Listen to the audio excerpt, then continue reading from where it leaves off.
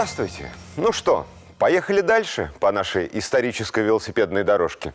Итак, среди лидеров финального исторического заезда мы уже отметили велосипед «Ровер», сконструированный британским изобретателем Джоном Кэмпом Старли. Его конструкция постоянно совершенствовалась, а сам «Ровер» стал признанным фаворитом, породив новый велосипедный бум. На пути к полному триумфу его ожидало еще одно важное изобретение, придавшее забвение эру костотряса – пневматические шины.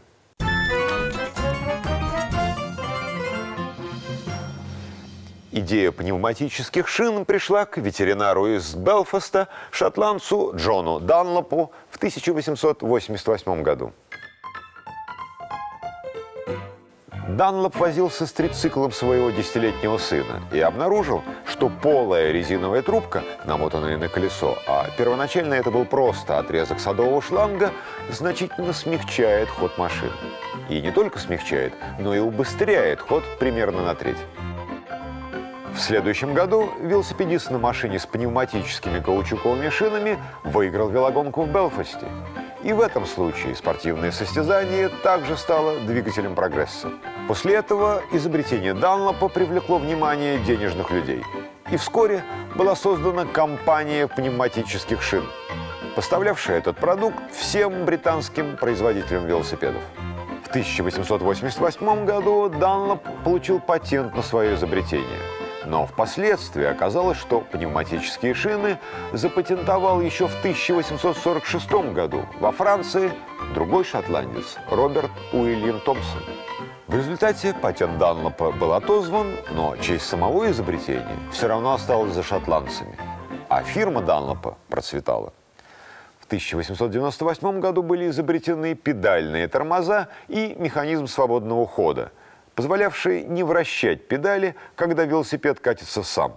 И к концу 90-х годов 19 столетия на дорогах прочно воцарился новый кумир – велосипед «Ровер». Он-то и стал тем универсальным механическим конем, подвластным воле любого человека. Как отметил один велосипедный журнал, наконец-то механический самокат стал превращаться из развлекательной игрушки богачей в долгожданную лошадку бедняков. Кстати, слово «ровер» укоренилось во многих языках, и поныне оно обозначает велосипед в польском, белорусском и украинском. Однако лошадка должна была использоваться и в практических целях. С 80-х годов 19 века велосипеды стала использовать британская почтовая служба. Вскоре ее примеру последовали почтальоны многих стран. Затем на механических лошадок сели и полицейские – 1896 году полиция английского графства Кент закупила первые 20 велосипедов.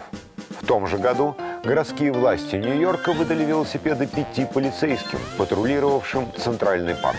Во всех случаях эксперименты оказались удачными, и число конно-механических полицейских росло в геометрической прогрессии. Особо перспективным представлялось в то время использование велосипеда в армии.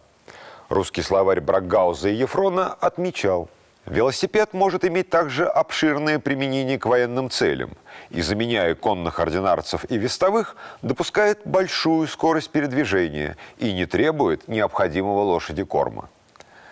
Велосипедист может конкурировать в скорости с верховым при хорошей дороге. И кроме того, под огнем велосипед находится в меньшей опасности поражения, чем верховой, так как представляет сравнительно очень малую цель. Лучшие военные велосипедисты считают наиболее подходящими велосипеды легкие на ходу, прочные, несложные, возможно, не тяжеловесные и допустимой стоимости. 90-х годах 19 века в русской армии вводится велосипедная езда как одно из средств улучшения физической подготовки. В 1891 году издан особый приказ об обязательном приобретении велосипеда для войск и формировании специальных самокатных команд. А в целях поощрения самокатчиков с 1893 года в различных частях войск стали устраиваться состязания на велосипедах отдельно для офицеров и отдельно для нижних чинов. Во второй половине 80-х, начале 90-х годов 19 столетия самокатчики появляются в армиях Италии, Бельгии, Германии, Австрии, Испании и Швейцарии. В Германии, например, были введены новые формы разведки – верховые разъезды на велосипедах. Один патрульный велосипед предназначался на троих солдат. Два разведчика на переднем сиденье наблюдали за местностью, а третий, то что сзади, изо всей мочи крутил педали и управлял рулем. Но вот неприятель обнаружен. Двое разведчиков спешиваются и остаются на месте для дальнейших наблюдений. Третий, тот, что исполнял роль рабочей лошадки, теперь налегке катит в лагерь, чтобы донести до начальства ценные разведданные. 1891 году военный велосипед был официально признан французским командованием. Для военных велосипедистов утверждается особая военная форма. Это шинель, блуза образца альпийских стрелков, ординарческие брюки, суконная короткая пелерина, как у зуавов, форменная кепи и цветной нарукавник – отличительный знак части – Эту щегольскую экипировку эффектно дополняют полусапожки с кожаными набедренниками.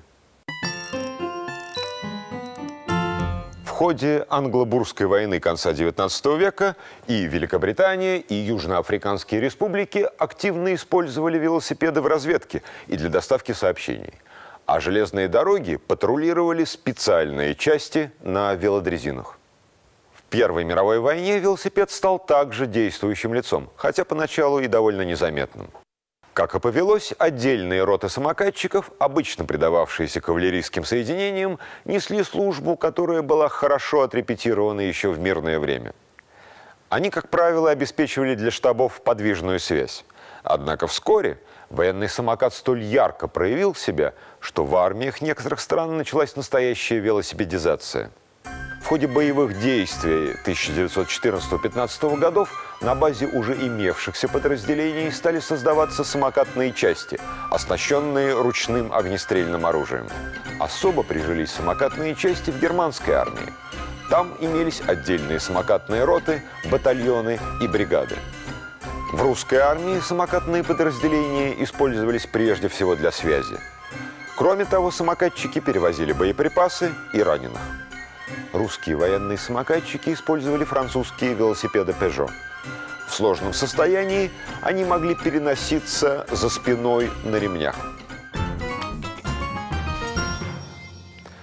Полезное применение механической лошадки ограничивалось не только военной или полицейской карьерой, либо на худой конец почтовой службой.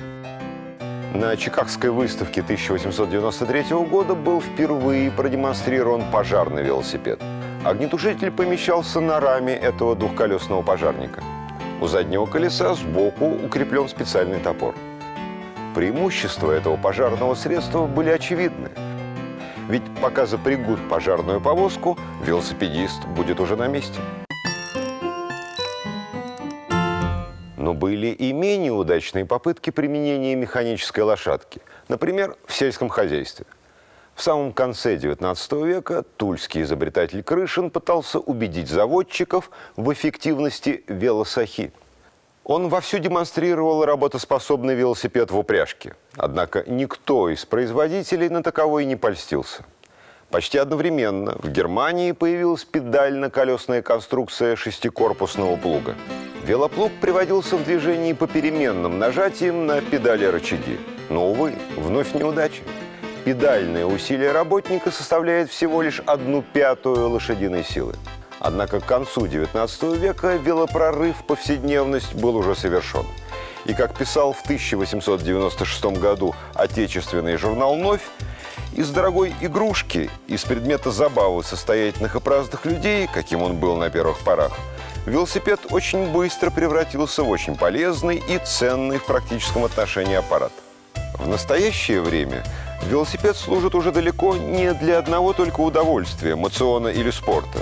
Им теперь уже пользуются представители занятого, делового, трудового люда, начиная с докторов, всякого рода служащих, учащихся и прочее, и кончая комиссионерами, торговыми агентами, рабочими. Если про него пока еще и нельзя сказать, чтобы он уже сделался предметом первой необходимости, то, по всей вероятности, таковым он станет очень скоро. Это была программа «Обыкновенная история». Обыкновенность повседневна. До скорой встречи.